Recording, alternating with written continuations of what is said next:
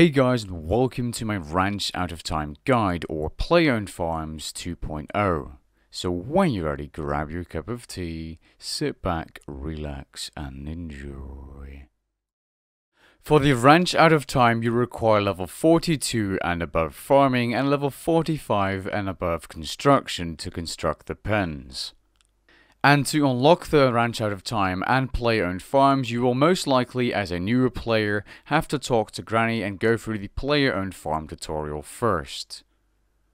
She is located in the manor farm in Ardougne.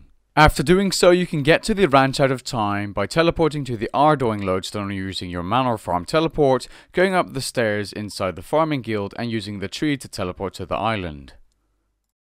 Much like the player-owned farm or manor farm, you also have pens at the dinosaur farm or ranch.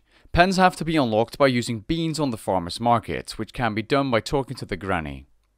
Pens are actually constructed using Anachronia Basecamp resources, so be sure to set your workers to wood, vines, and stone.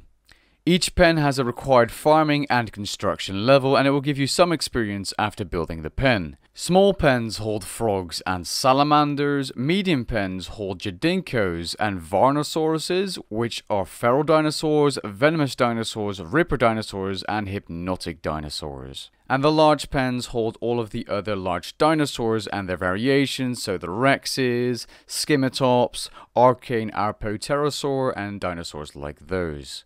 Now here's some things you want to buy if you have beans to get started at the ranch out of time. You do not need everything straight away, but these things are the main things you want to buy using your beans. Beans can be obtained by selling animals to the right seller. So, a small dinosaur pen will set you back 100 beans and requires level 42 farming and a construction level of course. Medium dinosaur pen requires 500 beans and the two large dinosaur pens cost 1000 beans each. The dinosaur breeding pen also costs 1000 beans.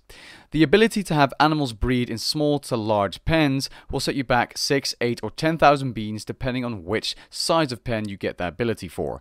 This is a nice thing to have if you have two dinosaurs or a breeding pair in a regular pen apart from your breeding pen and with luck you actually get an egg here and there. That is if your pen isn't full already. The last thing I recommend you buy is a storm barn costing 5000 beans or more for the upgrades, but the base storm barn will set you back 5000 beans and can hold up to 15 animals in the manor farm and this is incredibly useful if you have a lot of checked animals and eggs you cannot use to get experience just yet, or you want to save them up and save your bank space. So, how on earth do you get yourself your animals or dinosaurs for your ranch out of time? Well, you can obtain them through various methods. You can buy them for beans depending on which tier they are. Frogs, for example, can be bought off the farmer's market, but dinosaurs cannot, and you have to obtain them as a drop or get them from Big Game Hunter. And what I mean by a drop is getting them as a drop from the creature itself during Slayer or off task. The drop rates are now on screen, confirmed by JMod on Twitter. Now, whoever made this clear and super obvious overview on the wiki, I'd like to thank you as you saved me a lot of time doing research. That being said, a lot of the wiki pages, and I've come across a lot so far, are not complete and I've actually tried to edit a few myself to add things here and there to make it more clear. Every single animal or dinosaur at the ranch has four different growth stages. Egg to child, child to adolescent, adolescent to adult, and adult to elder. The total experience from egg to elder is shown in this overview, ranging from 5 to 190,000 farming experience per hour for the Pavosaurus rex. These experience values only count if the animal is at 100% happiness when harvesting the produce and experience. The happiness of the animal depends on if you've been feeding it or not. If it's fully fed, it will be at 100% happiness. I'll be covering more on how happiness works and how you get the maximum amount of experience from your dinosaurs in your pens, but first let's cover the rest of this overview. The separate time to grow per stage per animal is also shown on the overview. The total time is all the way to the right.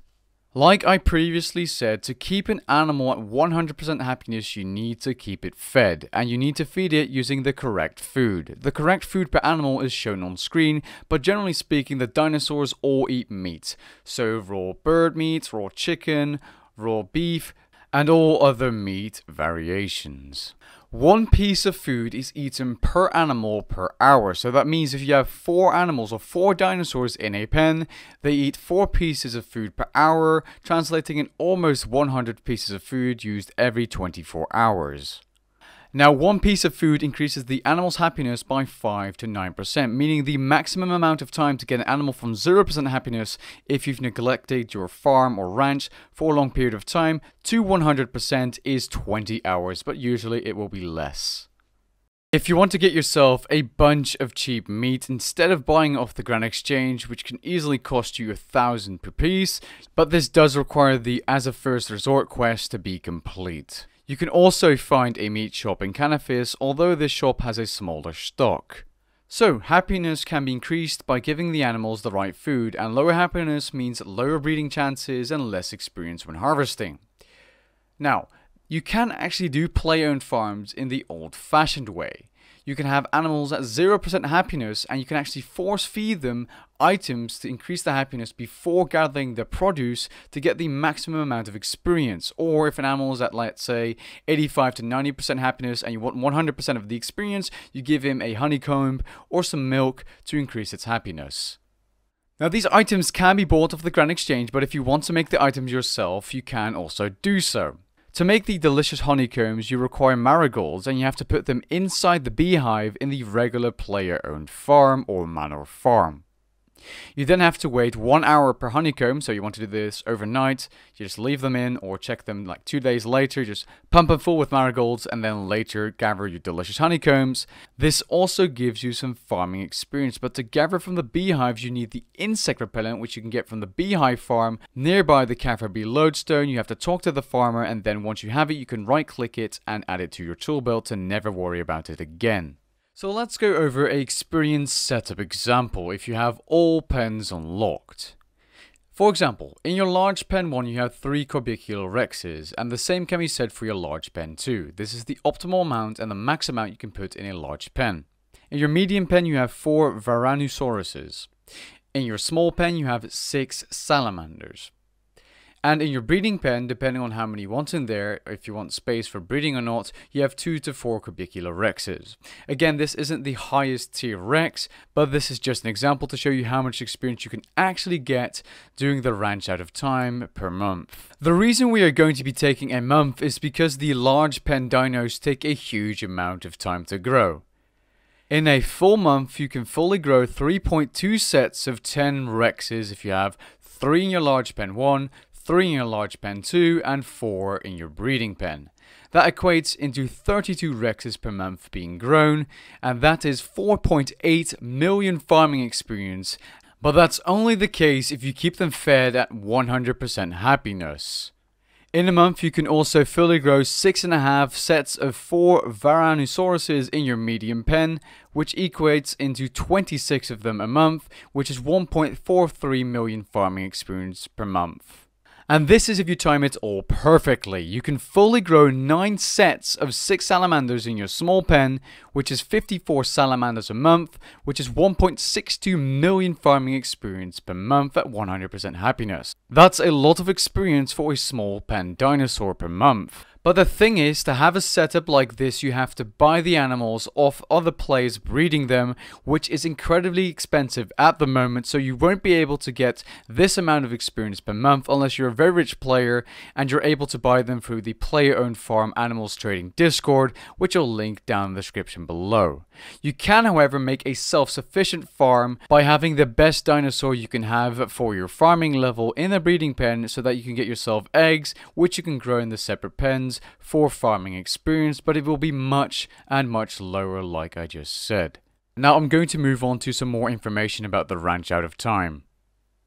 If you do not know how to cure your animal's disease, simply click on the animal and check on them for their disease.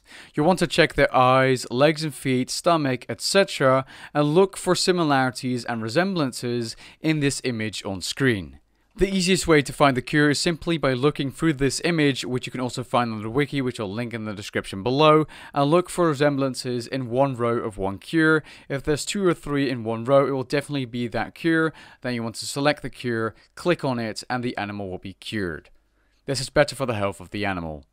If you want to change the animals you can sell at the ranch out of time, right click the granny and choose contract options. Then go through all the pens and choose whichever animal you want to be selling. You want to choose the animal you are currently growing in those pens. Because when you grow spare elder animals and you've harvested them for their experience and produce, you want to sell those for beans to buy the rewards of the farmer's market. It will take around 24 hours before the new seller arrives.